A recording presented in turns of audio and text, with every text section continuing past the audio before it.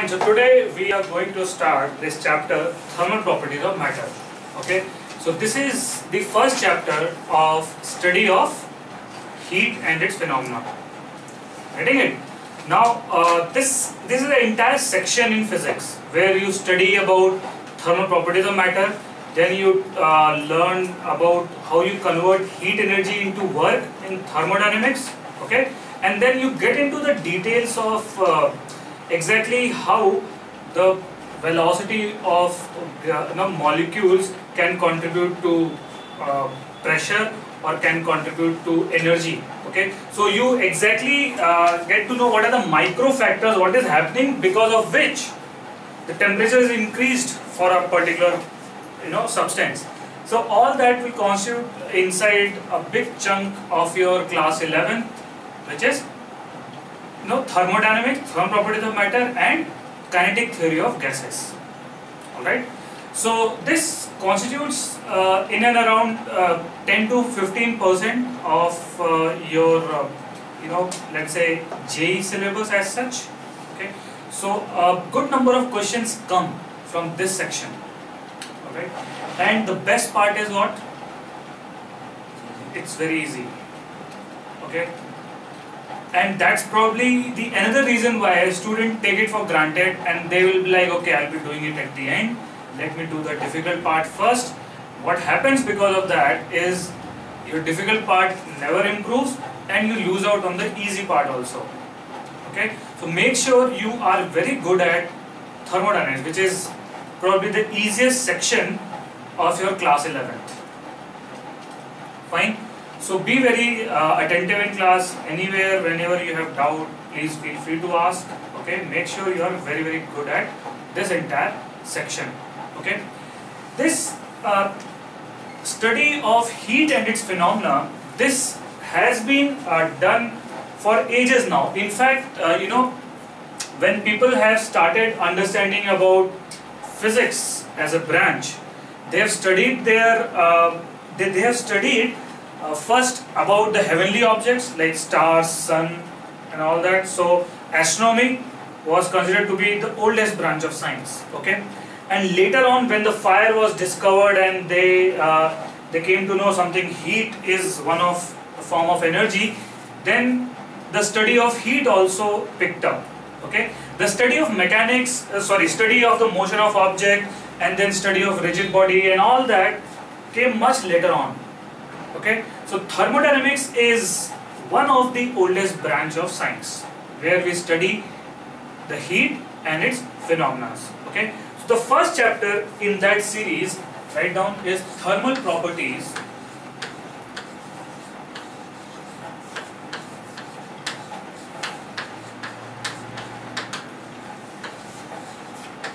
of matter.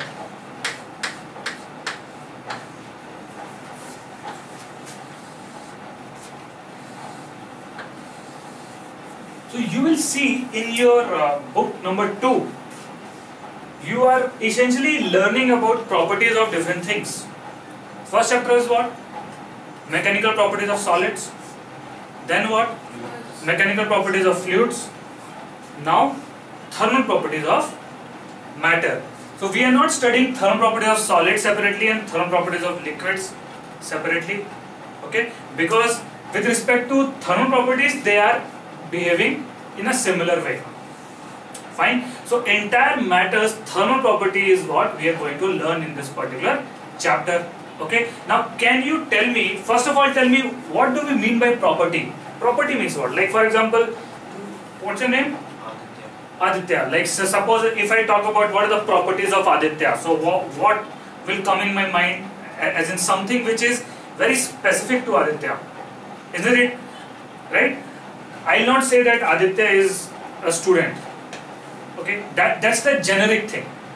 So when i say property of anything a specific thing will come in my mind. All right so now when i say thermal properties of matter thermal properties of matter so what should come in your mind? Something which get affected by something related to heat or temperature it some properties that are related with heat and temperature. Can you tell me few properties which are related to heat and temperature for a particular substance? Think of think. Pressure of a gas is related with the temperature. Okay. What else? Volume. Does it depend on the temperature? Does it change? If I change the temperature, does volume change? It changes, right? So expansion, expansion of an object is a thermal property. Okay, that we are going to learn in this particular section. Okay, so write down property number one. The first property. This is what thermal properties of matter. So we are just listing down what are those thermal properties. Okay.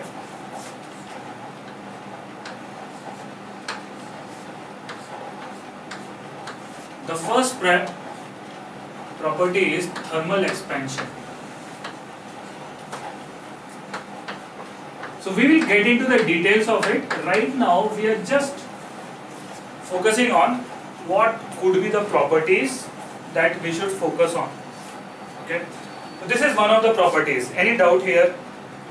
Okay. It says that whenever you heat any object, increase its temperature, its volume will increase. Alright? What else? Can you think of anything else? This is the first property. Second one? The temperature is the cause. Okay. Now see why this thermal expansion is a property. Because two different substances will expand differently for a given change in temperature. Are you getting it? So it's a unique property expansion of one object is different from the other object for a given temperature change. So that is why it is a property. Had it been that all the objects expand equally with the same amount of temperature change, then it is not a property of a object. You getting it? Now can you think of any other property other than thermal expansion? State. Hmm? State. Now what do you mean by state? states of matter liquid gas or solid now is that a thermal property if i uh, let's say heat up an object a solid object will its state change after some time depends but then it will eventually convert into liquid isn't it? And then it will convert into vapor like what happens with uh, water.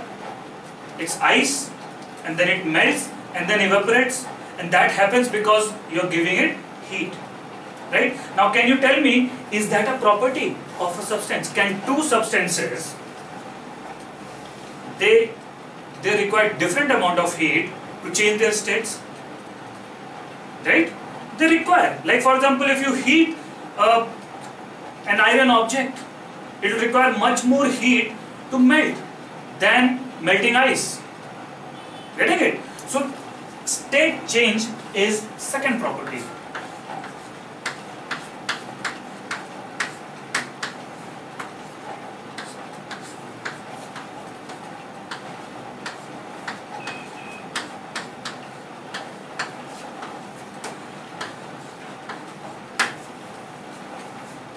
Okay, so what I mean by state change is solid converting into liquid and then converting into vapor. Different amount of heat is required to change the state from one state to the other state for different objects. So that is why it is a property. Now can you think of any other property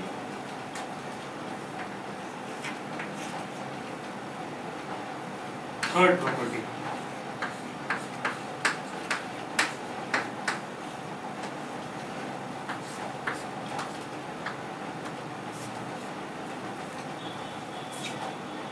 Just think aloud. I mean, it's okay if you're wrong.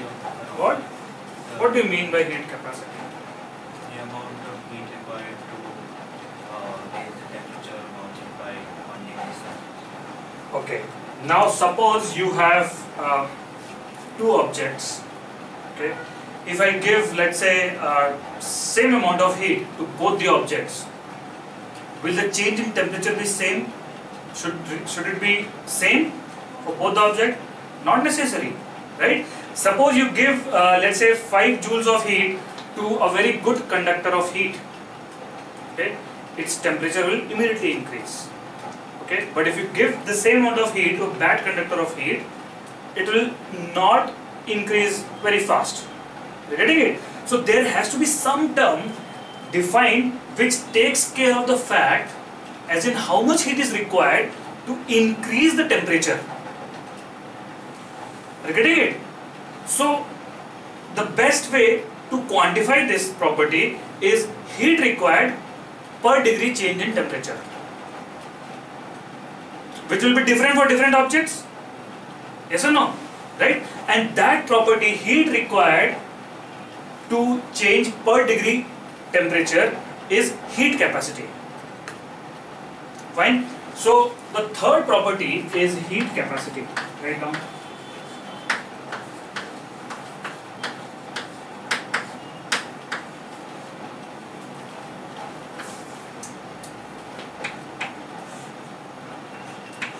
This is heat required divided by however much temperature has risen because of that. Alright? Different object will have different heat capacity. Okay? We will come back to specific heat capacity later on. Right now we are just defining heat capacity. That is more generic than specific heat capacity. Okay? Now can you think of fourth property now? Property number 4.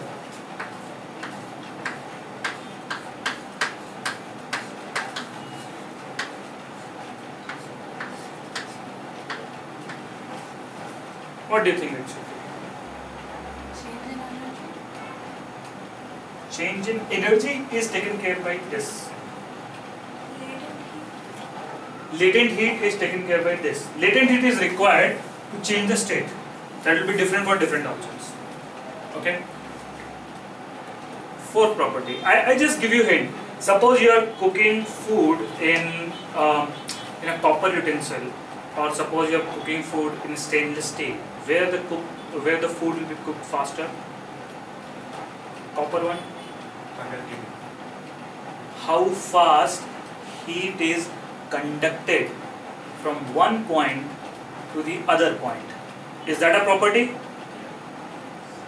That is a property, right? For example, if there is some uh, hot object, if you try to uh, touch it through an iron rod, the heat will conduct to you at a much faster rate than if you uh, just poke it with a with a bad conductor of heat. You're getting it? So how fast heat is getting conducted, that itself is a property of a substance. Okay? So the fourth property is heat transfer.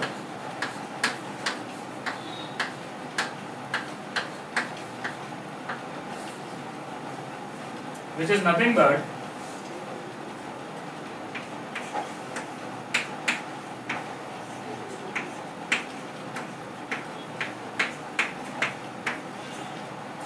rate of transfer of heat energy.